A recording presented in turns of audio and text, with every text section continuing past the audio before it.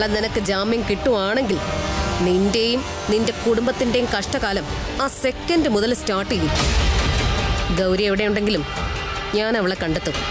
പിന്നെ ഗൗരിയുടെ ഭാവി തീരുമാനിക്കുന്നത് ചാരങ്ങാട്ട് മഹാദേവനായിരിക്കും. മിഥുൻ നമ്മളോടൊപ്പം ഉണ്ടെങ്കിൽ മാത്രമേ നമ്മൾ പ്ലാൻ ചെയ്ത പോലെ കാര്യങ്ങൾ നടക്കൂ.